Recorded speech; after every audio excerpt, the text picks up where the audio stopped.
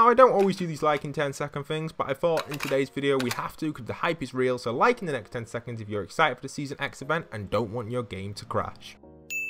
Hey guys, it's Postbox Pat, welcome back to a brand new Fortnite Battle Royale video. Just to let you know guys, this video does not include any spoilers or anything like that because these tapes are actually in-game right now. All you gotta do is go and land at the Cube and Retail Row, collect them, and this little voiceover will play for you guys, which I'm gonna put on screen in a second. I recommend staying tuned throughout the entire video today though because I've broken down a lot of Save the World storyline and a lot of the Battle Royale storyline, including voice actors, and we're going to be diving deep into potentially who the visitor actually is and what this tape is actually telling us. This is tape one, and we can expect at least three other, uh, sorry, two other tapes to be kind of played back to us, which we're going to be breaking down tomorrow and probably the day after, if, if that's when the challenges come out for them. If not, I'll do it whenever. But yes, smash that subscribe button. Let's get into this. Here is the tape audio.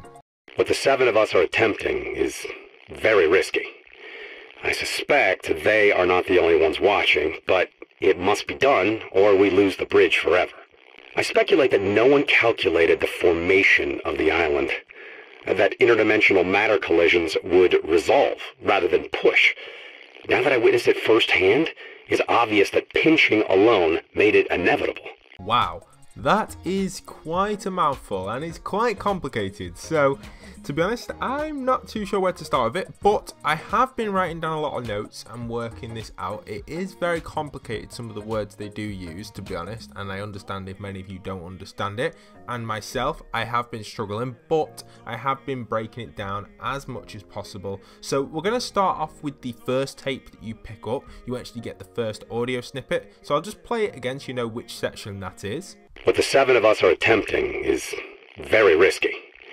I suspect they are not the only ones watching, but it must be done or we lose the bridge forever. Okay, so to break this down for everyone out there, the first thing he mentions is there are seven of us. Now, obviously, we already know what the seven are. We've seen it on the scientist skin and we've seen it on the visitor skin. It's pretty clear to us that the seven are the scientist, the visitor, and whatever else that is out there. Very interesting, very cool, and this is so exciting to know this is happening. Now the next part of this line is where the visitor goes and says, I suspect that they are not the only ones watching. They, implying the other five versions of the visitor, the scientist, whatever creature, monster, human, beast, Vindertech, whatever this is, this is part of the actual process of the event. These five people are out there somewhere watching because he suspects that they are. Then the next statement is, but it must be done or we lose the bridge forever. Now, the bridge is probably the teleportation, the dimension, the different universe that we've seen with the zero point, or potentially the link between them. So it's like a normal bridge in Fortnite and it's just bridging two worlds together or several worlds. Worlds collide, kind of. And he's basically saying, but it must be done or we lose the bridge forever. So we could be lost and he may never be able to return home. That is what I am gathering from this. So let's move on to the next section. I speculate that no one calculated the formation of the island, that interdimensional matter collisions would resolve rather than push. Now that I witnessed it firsthand, it's obvious that pinching alone made it inevitable. Okay, so this next section is where it starts to get a little bit complicated. You guys are going to be a little bit confused with some of the stuff I'm showing on screen, and I'm confused myself, but let me try and explain this the best I can to you guys. Alright, so I speculated that no one calculated the formation of the island. This one's pretty obvious. This is talking about how the island developed throughout season 4 or season 3, basically season 1 to 10, but mainly season 3 to 10 when the visitor started actually to come in play. So that's pretty cool, little cool statement there. Then the next little line is where it starts to get a little bit complicated. It states that interdimensional matter collisions would resolve rather than push. So what he's trying to express here is how, for example, the cube, the dark element which came through has kind of appeared. He's basically talking about how this is going to resolve rather than push forward on the island and cause events and stuff like that. That's what I kind of gather from this anyway. So he's basically saying it's going to resolve naturally. For example, the orb, the cube, all that sort of stuff, the meteor could cancel each other out during the event. You may not actually see any of them do anything, which is a nice little thing and a nice little statement there. The next line states that now that I witnessed it firsthand, it's obvious that pinching alone made it inevitable. Now, that is quite interesting because what he's stating there is he's experienced this. He's been on the map since season 4. Maybe he didn't leave with the rocket.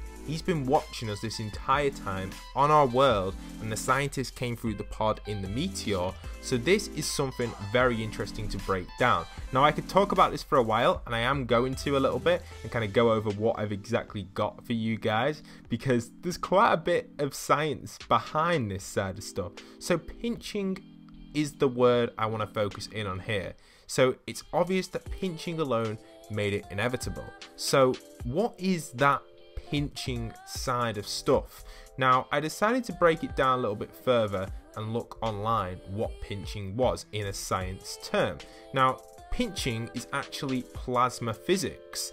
Now, personally, I haven't done physics since early school, so I wouldn't be able to explain all the terms in this very well but I've done a little bit of studying and looking around, and it basically talks about the conductor is usually a plasma, but could also be a solid or liquid metal. So, saying basically pinch, what it does, a pinch is the compression of an electrical conducting filament by magnetic forces.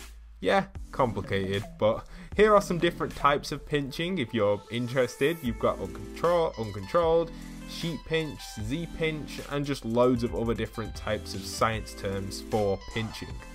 So basically, this is how the stuff is happening in the game. It's pinching, and this is basically what is going to happen because the word inevitable, if I can say it correctly, I keep saying it wrong, basically means that it's going to happen. It's not not going to happen. So that is really awesome and that is something to note. So he's witnessed it firsthand, and it's obviously the pinching alone made it inevitable. So that's what's made this itself happen, which means potentially the interdimensional stuff could auto resolve, and he's describing that right there, saying it's due to pinching alone that made it inevitable for this to happen. But we've still got two other tapes to come in place before we go further into this. So you know, obviously we've got tomorrow, hopefully, where we get the next tape and the following tape. These are like teasers up to the season 11 event. Share this video with as many people as possible, by the way, guys. It's really in depth and I've really broken this down. I'm really proud about it because it's pretty cool. I'm going to be relating this to Save the World a little bit because the voice actor for the visitor sounds very familiar. It sounds a lot like Dr. Vinderman who is the creator of the Vindertech, which is V-Bucks and everything that we have today. This is something from Save the World, by the way, guys. So I want to go into that a little bit further. But first, listen to two comparisons that I'm going to put on screen in a second for you guys. These are actually taken from some files that I have from Save the World, which I've had for a very long time, and obviously the recent tape which you've just heard. So listen to this now. What the seven of us are attempting is very risky. I suspect they are not the only ones watching, but it must be done, or we lose the bridge forever. As a dead man, I may not be the best source of stick-to-itiveness we've got. I only have the knowledge and memories that Dr. Vinderman gave me. If the original couldn't do it, what's an AI copy like me supposed to do? Okay, so now you've heard that, you can see that the voices are very similar. The first one was obviously the visitor, and the second one was Dr. Vinderman. Now, Dr. Vinderman is the creator of the Vindertech industry, like I said, and that is something which you've got to consider because he was one of the first people to create everything. He is the founder of everything. Vindertech, the creator of Ray in Save the World, the designer of the Storm Shield, and multiple other Storm defenses as well, which are in Save the World, but also we have the Storm inside of Fortnite Battle Royale. Now, Dr. Vinderman uses tapes throughout the Save the World storyline to kind of tell his story, and there are a lot of AIs of Dr. Vinderman as well in the Fortnite Save the World storyline if you played it.